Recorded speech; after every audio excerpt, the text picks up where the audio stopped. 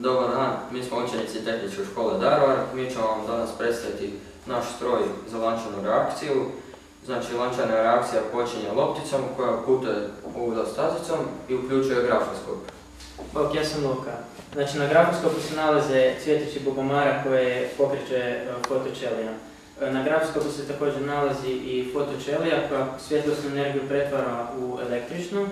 Ovdje iza se električna energija pretvara u mehaničku i e, to ruši lopticu u čašu. Čaša pokreće ovaj kolutur koji pokreće sljedeću lopticu.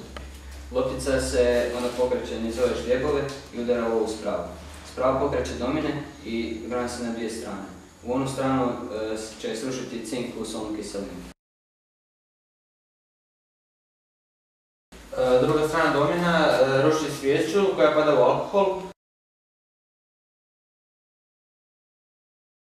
Alkohol pokreće e, kemijsku reakciju crna mangla i zapaljuje e, ovu traku koja će, koja ovaj konac. E, Taj konac, na, tom koncu se nalaze baloni sa, sa brašnom i oni će pasti na igle. Dobar dan, ja sam Ivan.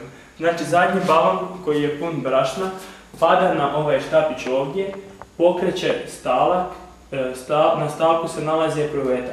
Epruveta izljeva svoj sadržaj u lijevak, sadržaj pada u menzuru i pokreće slonovsku pjenu.